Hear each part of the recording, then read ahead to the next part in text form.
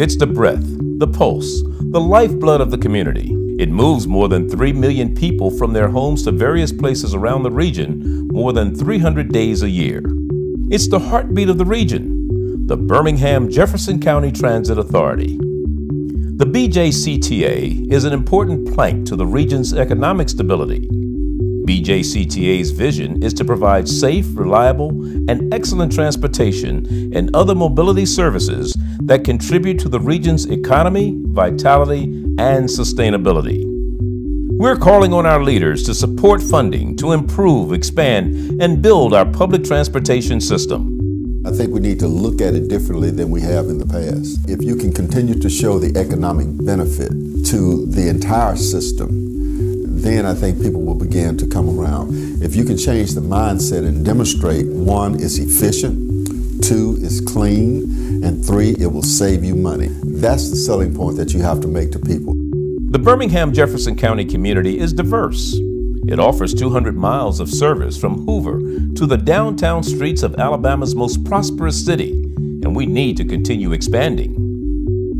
Computer program developer Birmingham resident Marcus Delavu says the most vital service a transit system can provide is dependability.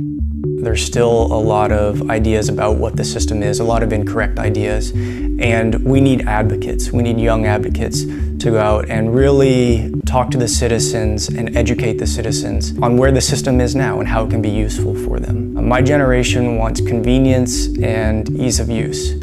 And so the first thing that they're going to do when they look at a transit system is they're going to look at what technology is around it. More than 60% of the people who ride BJCTA buses own one car, and almost 20% have two. A survey of Birmingham's largest employers revealed that more drivers would ride the bus if more routes with increased frequency existed. Birmingham business leaders say giving commuters the option of having a robust public transit system could be the difference between encouraging job growth in some industries or driving it away. There's a dire need for consistent investment in American infrastructure.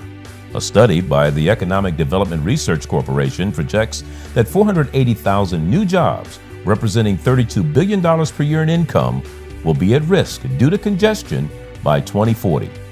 Many of the communities around the country have fairly robust mass transit systems. Most people in our community don't connect the dots between the needs that our community has for mass transit and the services that are provided to members of our community.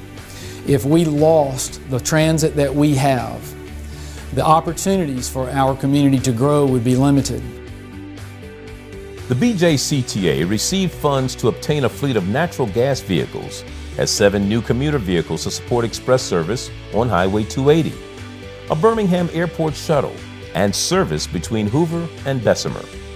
The transit system recently launched Google Maps, trip planning technology, and is currently building a new intermodal station that will include Amtrak, intercity, and local bus service. These are a few national trends we've been able to implement just to keep up with industry standards. However, we still have plenty of work to do.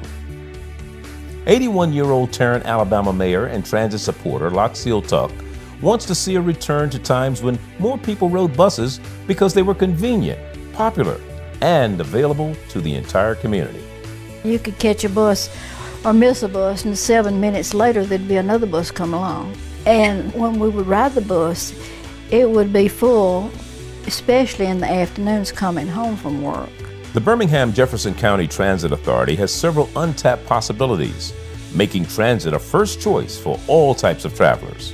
One draws from a pool of 4 million people who spend $1.5 billion in the metropolitan region every year. Tourists.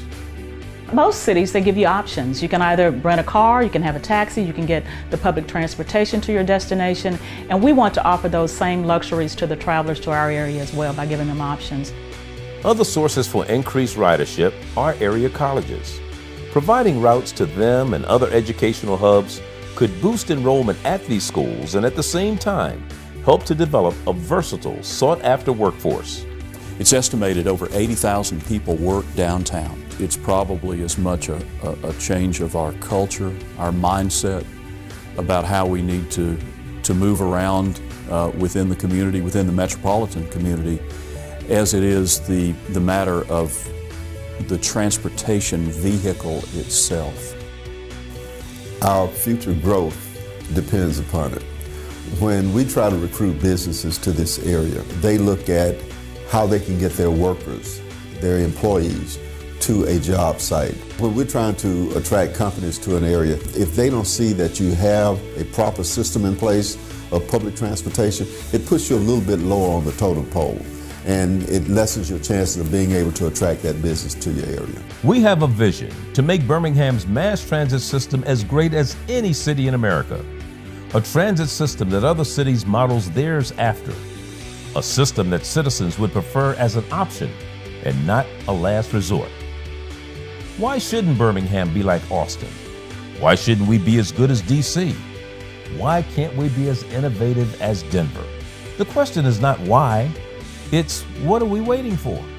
Investing in our transit system, ensuring we have updated technology, new equipment, proper maintenance, expanding services, appropriate staffing is a game changer.